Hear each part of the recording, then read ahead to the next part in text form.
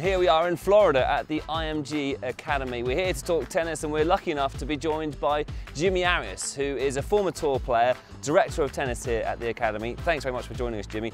Busy couple of weeks for you, I know, because you've just come back from the US Open. Uh, we're going to be talking about rackets today.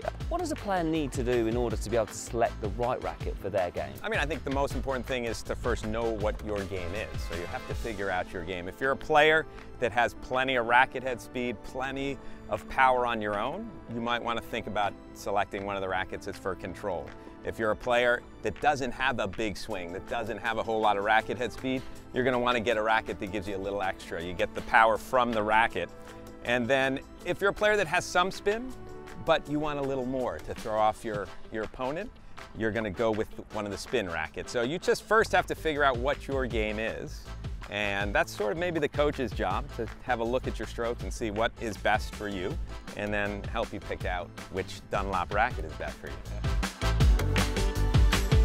So if I'm playing an exhibition match, which occasionally still happens, I'll use the control racket because I don't care if I lose to my opponent in an exhibition, I just want to look like I can hit every ball in.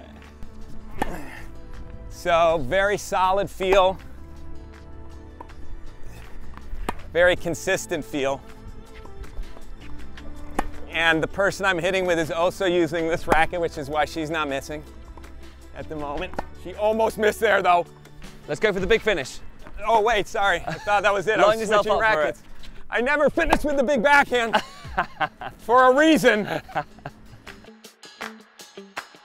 The spin racket would probably be the best for me at one time because I did hit plenty of topspin. Um, and this would give me a little extra topspin.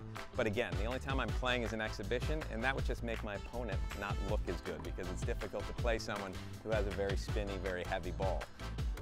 If you're going spin, that gives you even more racket head speed. So you can see that my ball is actually jumping much more with this racket than it was with the other. But I'm not sure if I try to flatten it out, which I'll do on the next ball. Let's see how it goes. Actually, it went really well. So spin is control and power. This is fantastic. As you keep going down, this is also power, but this has a little more control. I actually played with this for a little while because as I get older, I have less racket head speed than I once had. So, so this one sort of is a nice balance for me. Here's the power racket. And I can feel, it feels to me like possibly the ball doesn't stay on the strings as long. I can feel it like that one got away from me. So I have a swing that's not really conducive to, to needing power from the racket. So it's not ideal for me. It's fun when I'm feeling it that day. You can play unbelievably well with this racket. This is gonna give you so much pace that somebody like me that has pretty good racket head speed will have trouble keeping it within the lines of the tennis court. It's Right. gonna keep on rolling.